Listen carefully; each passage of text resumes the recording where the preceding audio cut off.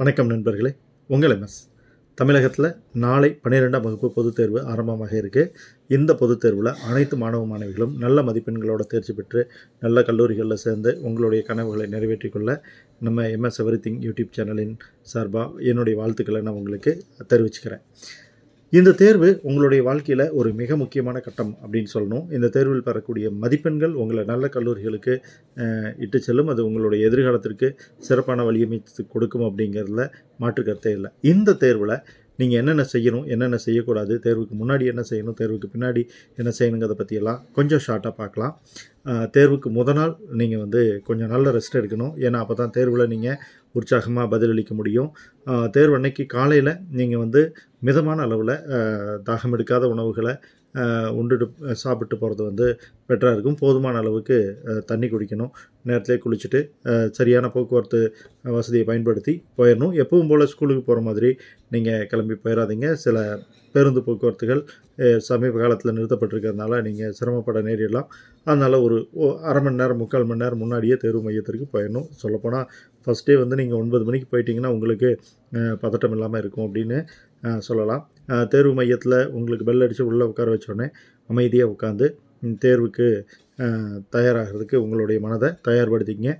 கையில் உங்களுக்கு question paper கொடுத்தோடனே கொஷின் பேப்பர் வந்து தெளிவாக படித்து பாருங்கள் அடுத்ததாக உங்களுக்கு வந்து ஹால் டிக்கெட் கொடுப்பாங்க அதில் சைன் பண்ணணும் ஆன்சர் ஸ்கிரிப்ட் கொடுப்பாங்க அதில் உங்களுடைய டீட்டெயில்ஸ் பேஜ் நம்பர் எல்லாம் செக் பண்ணிவிட்டு சைன் பண்ணணும். அட்டன் சீட்டில் சைன் பண்ணணும். ஸோ மூணு சைன் பண்ணணும். இதெல்லாம் நீங்கள் செய்யணும். செய்யக்கூடாதது எது அப்படின்னா முறைகேட்டில் ஈடுபடுறது. பிட் பேப்பர் வச்சுருக்கிறது ஜெராக்ஸ் வச்சுருக்கிறது டிஜிட்டல் மீடியா ஏதாச்சும் யூஸ் பண்ணுறது பக்கத்தில் இருக்கிற ஃப்ரெண்டுக்கிட்ட பேப்பரை சேஞ்ச் பண்ணுறது இந்த மாதிரியான முறைகேடுகளில் ஈடுபடாமல் இருக்கிறது பக்கத்தில் இருக்கக்கூடிய பசங்களை பார்த்து எழுதாமல் இருக்கிறது இதெல்லாம் ரொம்ப அவசியம். அதே போல் தேர்வு வந்து சரியான முறையில் நீங்கள் எழுதணும். நல்லா தெரிஞ்ச கேள்விகளை முதல்லையும் தெரியாத ரெண்டாவதாகவும் நீங்கள் எழுதணும். தேர்வுக்கு என்னென்ன டிப்ஸ் எல்லாம் டீச்சர் சொல்லியிருக்காங்களோ எல்லாத்தையுமே நீங்கள் எழுதணும். அதே மாதிரி நீங்கள் செய்ய வேண்டிய மிக முக்கியமான விஷயம் தேர்வு முடிஞ்சதுக்கு முடியறதுக்கு கொஞ்சம் முன்னாடி எவ்வளவு கொஷின்ஸ் வந்து கொடுத்துருக்காங்க எவ்வளவு கொஷின்ஸ்க்கு ஆன்சர் பண்ணணும் எவ்வளவு கொஷின் ஆன்சர் பண்ணியிருக்கீங்க அப்படிங்கிறதையெல்லாம் வந்து செக் பண்ணி பார்த்துக்கங்க. ஆன்சர் பண்ண வேண்டிய கொஷின்ஸோட எண்ணிக்கை நீங்கள் ஆன்சர் பண்ணியிருக்கிறதோட எண்ணிக்கை இது எல்லாத்தையும் செக் பண்ணிட்டீங்க அப்படின்ட்டா பெட்டராக இருக்கும். ஒன் மார்க் கொஷின் ஆன்சர் பண்ணும்போது ஆன்சர் ஆப்ஷன் ரெண்டுமே இருக்கணும் அப்படிங்கிறத வந்து ஞாபகத்தில் வச்சுக்கோங்க. கலர் பேனா இங் ப்ளூ அல்லது பிளாக் அப்படின்னு சொல்லியிருக்காங்க. பெரும்பாலும் ப்ளூ கலர் தான் யூஸ் பண்ணுவீங்க. ஸோ ஒரே கலர் யூஸ் பண்ணி நீங்கள் எக்ஸாம் எழுதுங்க. உங்களுக்கு தேவையான பொருட்களை நீங்களே எடுத்துக்கிட்டு போயிடுவீங்க பெல்ட்டு ஷூ இதெல்லாம் அலோவ் பண்ண மாட்டாங்க. ஸோ அதெல்லாம் இல்லாமல் அதெல்லாம் அதுக்கான தகுந்த ஏற்பாடுகளோடு நீங்கள் போய்க்கிறது வந்து பெட்டராக இருக்கும்.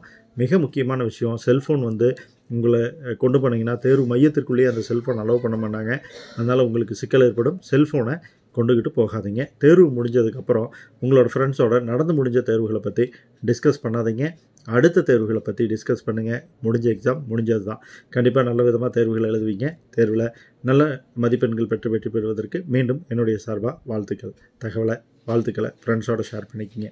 Bye friends